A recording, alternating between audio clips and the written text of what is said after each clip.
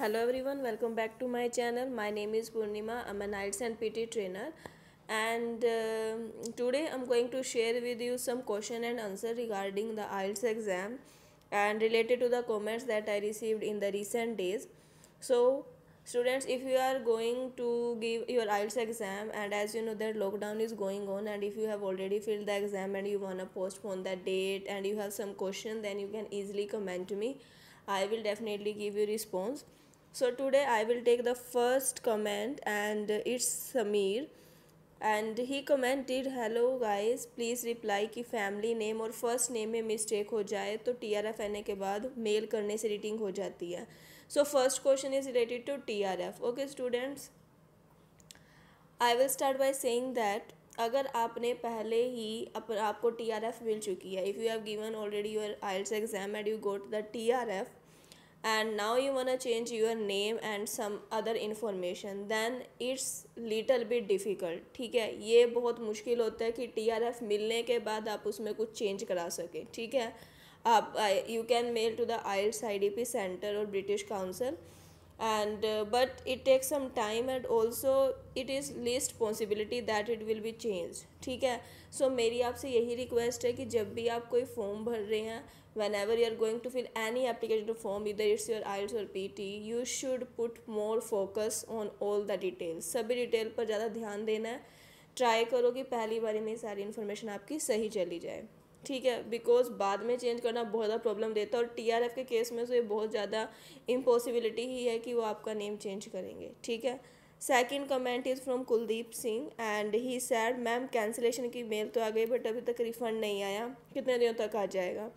सो so, अगर आपने क्या है if you if you have already applied for cancellation of files exam and if you wanted to cancel your exam और now you want change your exam date और post और cancel exam then what can you do आपको क्या करना है? You can mail to the IDP और you can call to the customer care customer care number of IELTS IDP that I share with you and I also posted in the description box so you can check from there ठीक है? तो अगर आपने क्या करना है? Cancellation कर दिया है, आपका रिफ़ंड नहीं आया, आपको मनी वापस नहीं मिली, जो आपके कुछ डिडक्ट होकर अमाउंट मिलेगी approximately thirty five hundred deduct होंगे आपके बाकी आपको पेमेंट वापस मिल जाएगी। तो उसमें जो है ये क्योंकि आजकल आपको पता चल रहा है कि सेंटर्स क्लोज हैं, सारा काम ऑनलाइन हो रहा है। सो ये आईडीपी के जो ब्रांच हैं, उनके ऑफिशियल्स जो है, कब तक उसको सॉल्व करेंगे इट डिपेंड्स ऑन दैम ठीक है? So it can take time up to two two three weeks after that you can again call them और mail them okay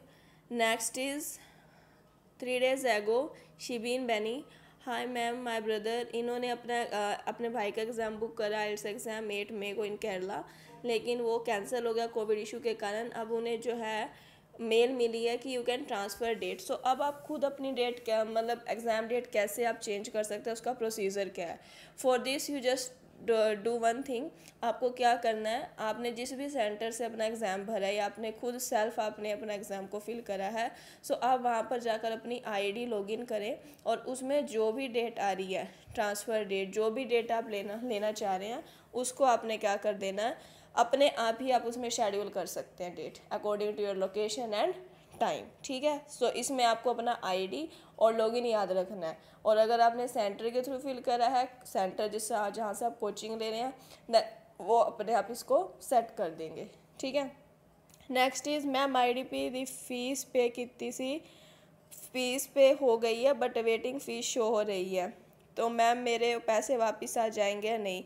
सो so, इसके लिए क्या है कि अगर आपने दूसरे अकाउंट से करी है सो so आपको दोबारा से जो है मैंने अपनी ऑलरेडी एक वीडियो में एक एप्लीकेशन फॉर्म जो है वहाँ पर लिंक करा हुआ है तो आपको आइल्स आई की वेबसाइट पर जाना है गूगल पर और वहाँ पर आपको जो है कैंसिलेशन का एक फॉर्म मिलेगा। उसमें आपको अकाउंट चेंज करके जो आपने नए अकाउंट से जिसे पेमेंट करी है वो लिखना है और साथ में एक एप्लीकेशन मेल कर देना जिसमें आप ये लिखेंगे कि मैंने ये अकाउंट से इस अकाउंट में मेरी पेमेंट नहीं है, मैं इस अकाउंट से अपनी पेमेंट करूँ, जो आपका न्यू अकाउंट है, ठीक है?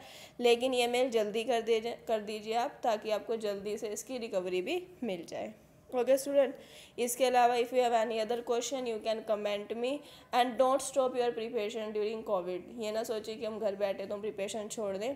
You should prepare very well for your exam and all the best you will get your desired band score I hope and if you have any problem any query related to IELTS PT so you can easily comment me. And in my upcoming video I'm also going to share with you some tips and tricks of IELTS and PT so subscribe my channel.